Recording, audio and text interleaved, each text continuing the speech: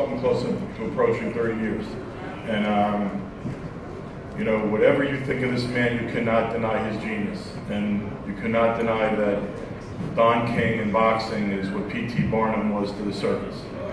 Um, he's not only the most famous person in this room, there is not a street in New York that he could walk down right now if he left this building without being recognized.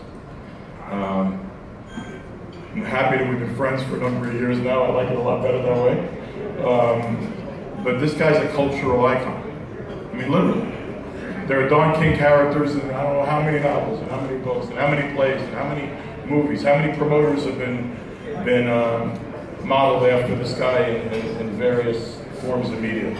Um, one of the most famous people on the face of the earth, one of the great promoters in the history of boxing, Don King.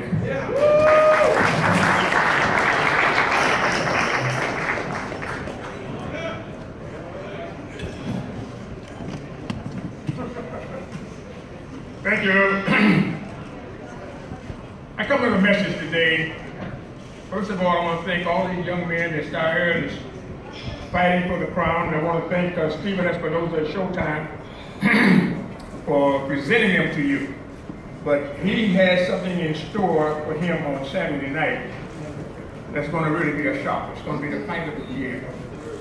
Unquestionably, you know, uh, I want to introduce to uh, Deontay, who I have a lot of love for, uh, Bermane Stiverne. He's never really met him, you know. And so I want to introduce him to, you know, and talking to you, the American public and the world at large. It's going to be a fantastic evening of boxing at the Barclays Center. I've called up my friend Chuck Dolan and Jim Dolan. I want them to be guests for me at the ringside. You know, hopefully they can make it. And uh, bear witness to what's coming on with the new with uh, Mr. Yormark here. That's his brother, my, his, not was, is my dear friend. So, but here's what's going to happen. You're going to have an upset similar to Donald Trump, where nobody in the world wanted him to be president. He shocked the world by becoming president against all odds. All right, so now what we're going to have here is a shocking upset. It's going to be Bermane when he knocks out my dear friend here, Deontay. Now, you know that when he does this, and I want to ask him to take this into consideration, that um, Deontay will retire. That's in his words. But I want to say right now, I want to put in my, my request. When you come out of retirement, come on to see me. Because I'll tell you, he can talk, he's got the gift. His mother, I love his mother. And uh, and my mother was, both of them were born in Alabama. You know what I mean? So I'm an Alabamian too. And Alabama, what we should understand and why I want him to be able to carry the message of friend and for life, is the only state in the union that has legalized white supremacy. They talk about all of the different uh, objects that would divide people around the world, but at least Alabama was honest with it. You know what I mean? They legalized it. And I want him to be one of the men that knocks that barrier down because he's got the guts, he's got the wherewithal, and he's got the glib tongue, he's loquacious. He can express and identify and bring people together as he is doing right now with the Alabamians. So I'm looking forward to that with great excitement. Not only would it be great for Lou, because I think Lou is doing a tremendous job, but it'll be a rubber match. And that rubber match will be something similar to Ali and Frazier, Ali and, and making things happen right down the line, Ali and George Foreman. So it's going to be an exciting time for me to be here on Saturday, and I'm calling up everybody. And as history has put it and dictated it, we will have a wonderful November to remember. That's what we said when I was working and promoting Donald Trump, a November to remember, and it will be remembered from, from here into eternity. You know, the same thing is going to happen here on Saturday at the Barclays Center when we really crown that city that will have a, a, shocking effect around the world, but it'll be good because what Lou DiBella said was we were doing right. So it's going to be a blow for righteousness because no matter what it costs, whatever it happens, we stand for the right so the fight should be clean. It should be able to deal with each other for the safety for the populace. My friend Sulaimán is smiling right now. That's the father, not the son. And he's looking down on me right now because he's the one that staged this thing for uh, Deontay. He set that up and we kept his word. And he kept his word with me. So now he just sent me the message. So I want y'all to all know this, Tom Howard, and I want you to put it down. You know what I mean? He sent the message that this is going to be a great thing and all the angels in heaven to be watching. You know what I mean? When the upset comes and he retires, but he keeps his word, there's nothing more precious in life than your word. Your money comes, your money goes. You know what I mean? But your word follows you forever. And so what I know that when he retires, but I just want to put in my thing right now before anybody else starts. When he come out of retirement, you're going to be a Muhammad Ali. You know what I mean? So he had to lose too, you know, in order to get there. So you ain't never lost, so you really can't be an Ali. You know, when you lose on Saturday night, you can be an Ali. You know what I mean? You know, so it's going to be a fantastic evening of boxing that we're going to do, and we're going to make it happen. I'm saying hello to my friend uh, De Blasio, the mayor of this great city, and uh, he's going to be out there looking at this fight, trying to find ways and means to justify his reelection and we are looking forward to that with great excitement. You know what I mean? so I want to say that uh, I am I'm honored. I'm very honored to be working with Lou, and I think that uh, uh, you know it's something that is there that is honesty and steadfastness, exciting to be able to be with the voters of the statute of esteem and a Harvard man too. It's, uh, it's, it's, it's, it's just it's marvelous, and I feel good about it. You know what I mean? So Jose Sulaimán, we're going to be right there for you on that. And to say about his son, I love this son, he's like my son. He calls me Papa, and I call him son. That is, is the young man that is just up here uh, that is carrying the torch in, in Viva Mexico. You know what I mean? It's like a, you got the Mexican flag right here, and we got the WBC flag. You know, Viva Mexico, Viva Mexico. You know, so the uh, so the president of uh, the president of Mexico is the dear friend of mine, Peña Nieto, and his lovely wife Angela. And so what we're going to do is going to have a great celebration. We got, uh, no, Andrea come to our, oh, what's your name? what's your name? Come on, man. Tell me what it is. Andrea Granados, this is just really great. So we're going to, he's going to be carrying, he's going to be carrying the message back, back to Mexico to my homeland, mi casa, su casa. Know, it's going to be really great. So I'm looking forward to all of the excitement that's going to be here. And I wanted to be first to introduce the real Bermane to uh, uh, Deontay Wilder because we haven't met that man. Last time he seen the guy similar like that. You know, they say we all look alike, so it's all. You know, we really meet the real guy. He had an imposter there. You know? So, so now he's going to meet the real man on Saturday night, and I'm excited as I can be about it. And uh, and I, I, I want to talk to uh, Steve. We're going to make plans for the rubber match you know, later down the road because you may go to Eminem or whatever he said, because whatever he said, that's what he means. You know what I mean? So whatever he decides to do, but I know one thing he has to do is not to forget the dirt road. Don't forget from whence he comes. Don't understand what our problem and our struggle is, and he's right there where at least honest, where you can confront it, eyeball to eyeball, step to step, legal white supremacy, you know what I mean, puts us where means nothing. The white woman, people of color, and nothing, you know, and it's written down in law, you know what I mean? So there ain't no way you can be no mistaken or playing no mistakes about it, you know what I mean? It's in law, and the poor whites, the poor, the masses.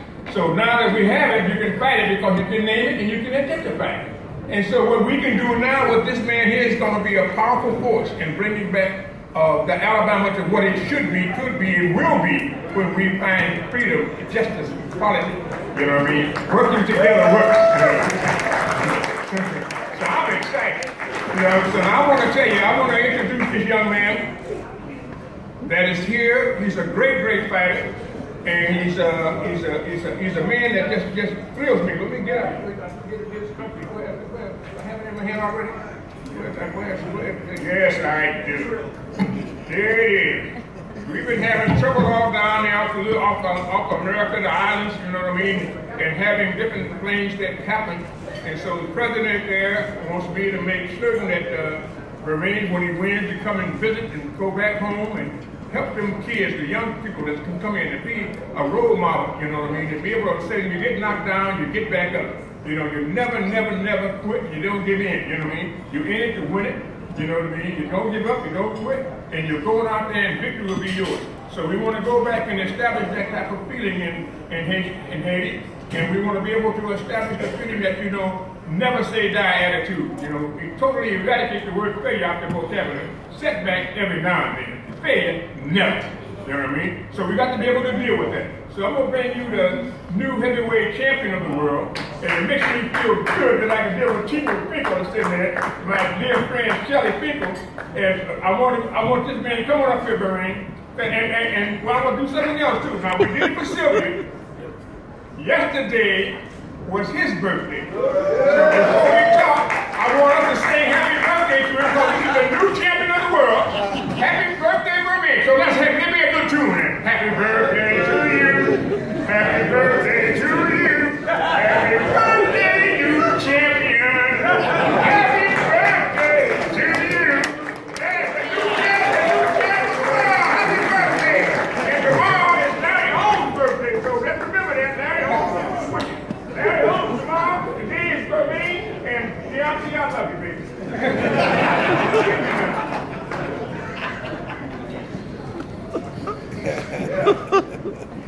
It's good to be here.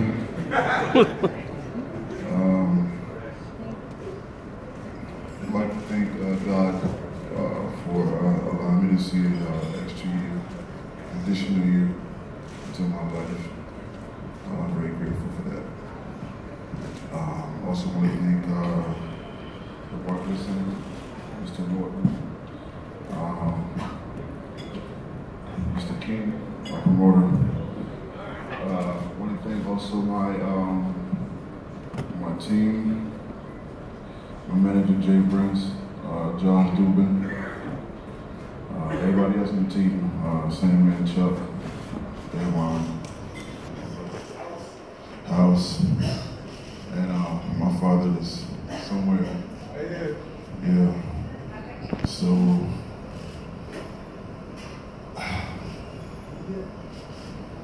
Let's see. All right, let's get down to business. I'd like to thank a couple people, but I don't think this should be thanked. Uh,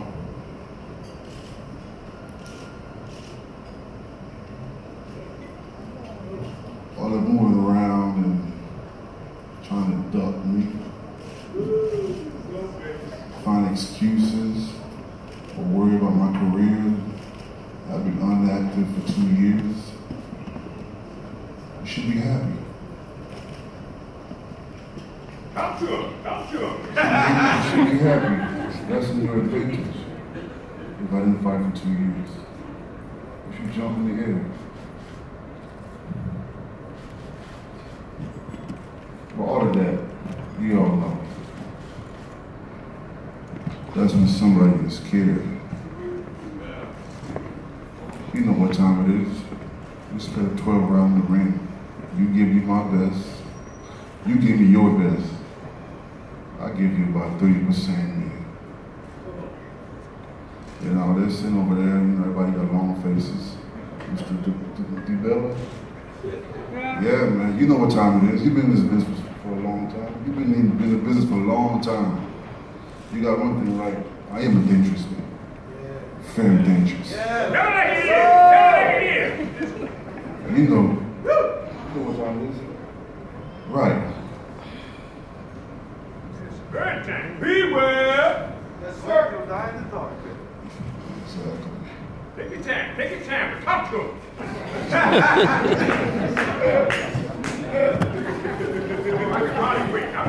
Listen, man, I feel great.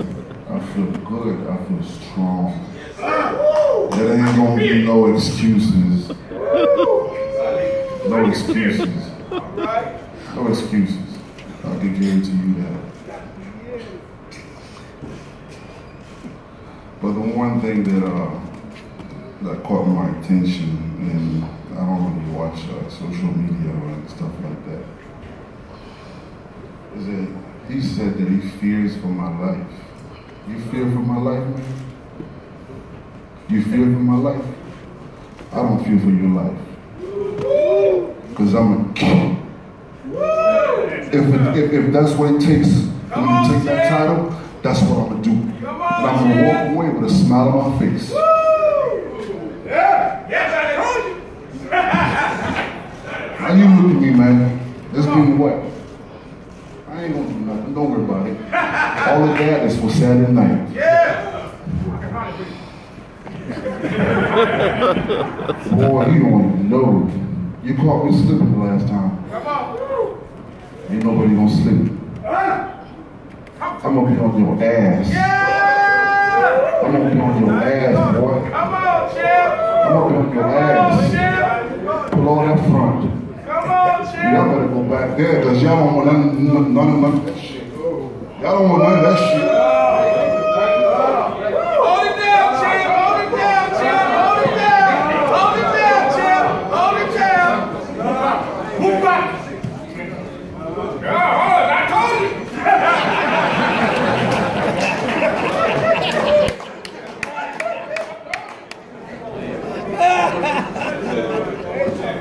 They talking plenty shit. That's all right. He didn't say anything. He didn't say anything. That's all. Not only that, you know, there's another fight coming up here, too. What's that? What's that? Boy, let me tell you something. Boy, let me tell you something. I used to live here. This is my house. He fought here. I lived here. Come on, Chip. Come on, Chip. No, I ain't done. I'm not done. When you was talking, I let you talk. Save it, save it, save it, save it. It's all right. I ain't done. On, But Chip. Saturday, November 4th, I promise you to God, I will be two-time heavyweight champion of the world. And none of these gonna stop me. None of y'all gonna stop me. I promise you that. All right. Promise you. All right. You can smile all you want, boy. You won't be smiling. Because I'm gonna see, I'm gonna see you packing home. No doubt. And I'm gonna take that box too and put it in the garbage for you.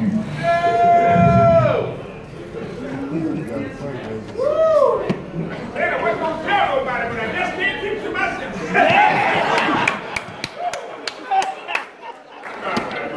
Yeah, say it, say it tonight, baby, say it tonight.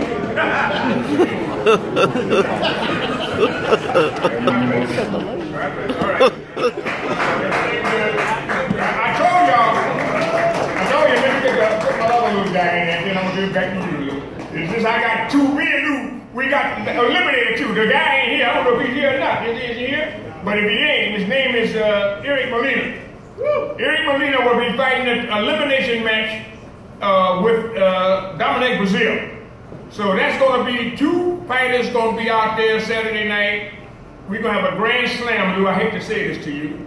You know what I mean? But when we flip the coin, anything you want, man. I mean, you know, you know, the sky's the limit. Whatever you need, Lou DiBella, you got it. You know what I mean? And naturally, with the same thing with uh, Stephen Espinoza, you know what I mean? Many of them talk, but none of them walk. So you got to talk that talk, and you got to walk that walk. Now, you got to back up everything he said. He said of all the world and all the people here, he's got to go in there and do what he's destined to do.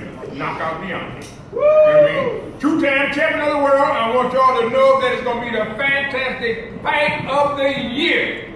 And I want everybody to say he prognosticated, he predicted it, and it came true. Only in America. Only in America.